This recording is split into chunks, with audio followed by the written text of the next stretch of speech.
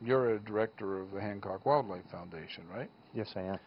And would you agree with me that what they're doing is they're they are in being innovative, they're setting up cameras, everything that they do is right now is becoming a technical experiment.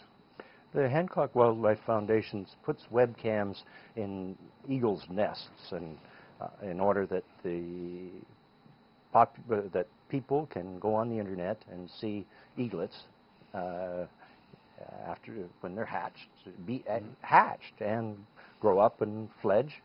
So uh, the technicians involved, uh, such as Richard Pitt, are faced with innumerable difficulties.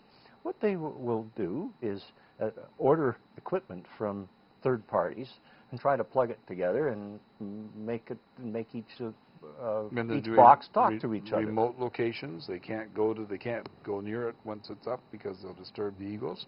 They got ones underwater for salmon. They had ones in the apartment windows for uh, herons. Uh, and the Hancock Wildlife Foundation will shortly have cameras on barn owls and beavers and bats. So here's my possibly question. belugas in some day.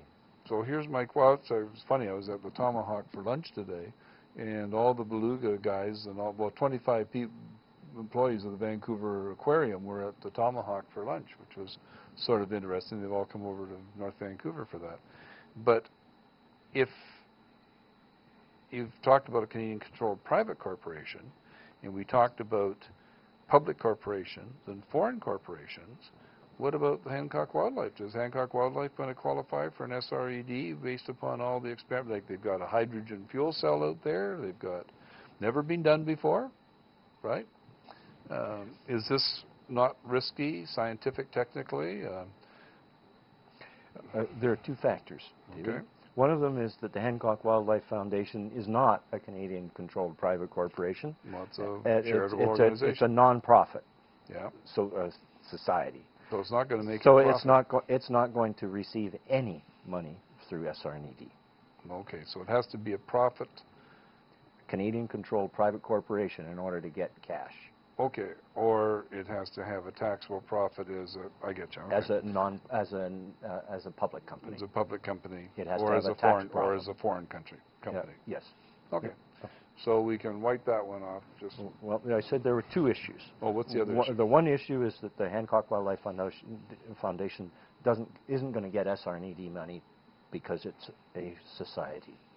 The other is that Richard needs Richard Pitt, the technician involved, needs to understand how to hook the components up and make them talk to one another. Now, when he opens the manuals, it'll tell him that he has to, uh, to plug it up, plug it together in a certain way, and and if uh, everything works perfectly, well, there's no there's no technical uncertainty involved, and therefore no SR&ED will apply. If it were a CCPC and it engaged Richard Pitt to do this activity, I would instruct Richard to document all the difficulties he has in making the equipment talk to one another, to each, each piece of the equipment to talk to each other. Now, very often the equipment that comes from suppliers isn't well documented or might have some ambiguities, and when he, uh, Richard Pitt phones the supplier, uh, he'll first be told to read the manual, and then he'll be and he'll press be, he'll press a little harder and may not be able to get all the support that he would like to have in order to get these gadgets talking these components talking yes. to one another. Or, or in our case, we get told, but we don't put security cameras in eagle nests. well, so Richard would say, this is what's difficult about putting a uh, camera in an eagle's nest. And he would say, I've tried this, I've tried that, I've tested this, and I've experimented with that, and this is why it has been so difficult for us to achieve the ends that we've set for ourselves. So the SR&ED activities start when he has identified a problem, and it stops when he has solved the problem. Or given up. Or given up. Okay. And uh, when you've got something set up in the middle of a river, and the river, the There's all sorts of risk and stuff in this, but that's not the experimental. And that's a physical risk, that's not an experimental risk. Mm, I, I, I don't know that I'd go and make that distinction. The issue really is, has someone tried to do this before and solved the problem? Or are there still some ambiguities and uncertainties around it? And uh, if, the, if it's the latter, well then probably SR&ED Okay, applies. let me use another thing then, because there's going to be, this is going to be on YouTube and on the net, right? And the answers that you're coming up with are for posterity. You recognize this. And if you happen to be, if you got one of my emails, you happen to be watching this, and you want to give us a call, it's area code 866-980-0499. I didn't get anything out early enough to make this logical, so it'll be something that people watch in reruns, as it were, or in archives. But uh, you never know. Somebody might phone. They phone weird times. What if, again, remember how I talked about the proprietorship and the corporation? Well, as I understand it, I'm, I'm picking your brains here, but Richard is a proprietorship doing this work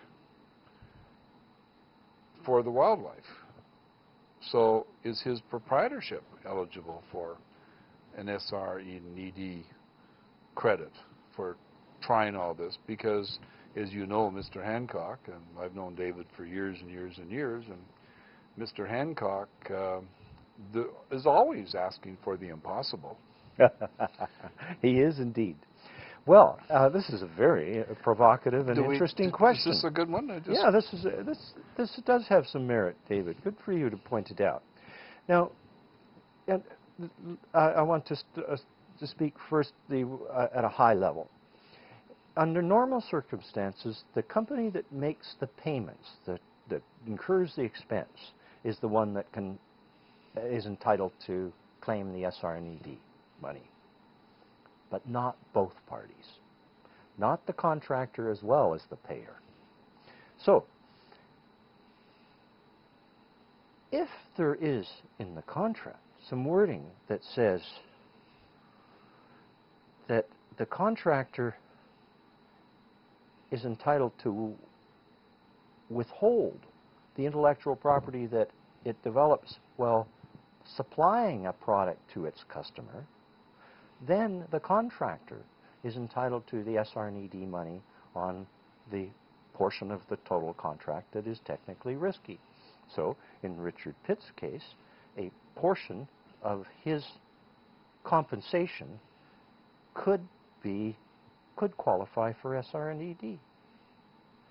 Now, you would have Richard Pitt would have to make it clear to David Hancock that he's not obliged to tell David how how he accomplishes his magic. That's Richard pitt Sorry, Dave wouldn't understand it anyway. Or Gotcha, Dave. He, he- he- he would pretend not to.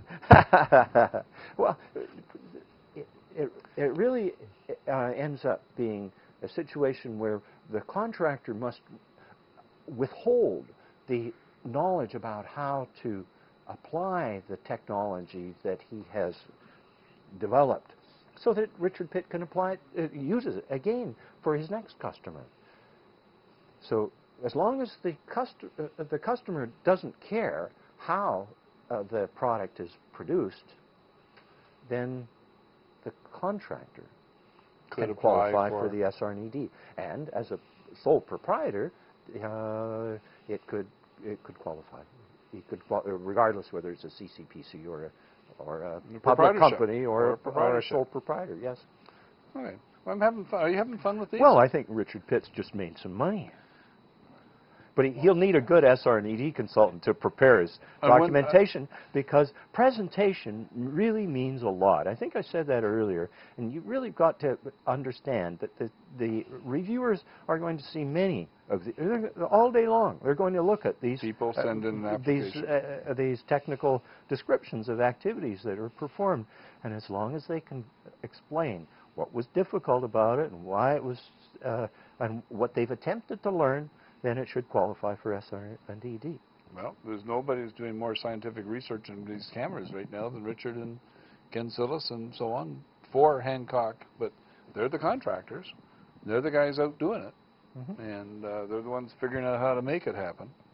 And um, it's certainly not Mr. Hancock. You know, David is one of my dearest and deepest and oldest and wonderful friends, but uh, a very demanding individual, and um, An enjoyable wants individual. and wants it done, and wishes it was done yesterday. So somebody has to figure out how to do his sometimes almost impossible. He started the whole thing by doing the broadcasting. Well, I think it's, no, well, let's give Richard Pitt the credit here, is he, he was the one who identified this as, as, as a possibility, and, uh, and David Hancock wrote the checks to make it happen.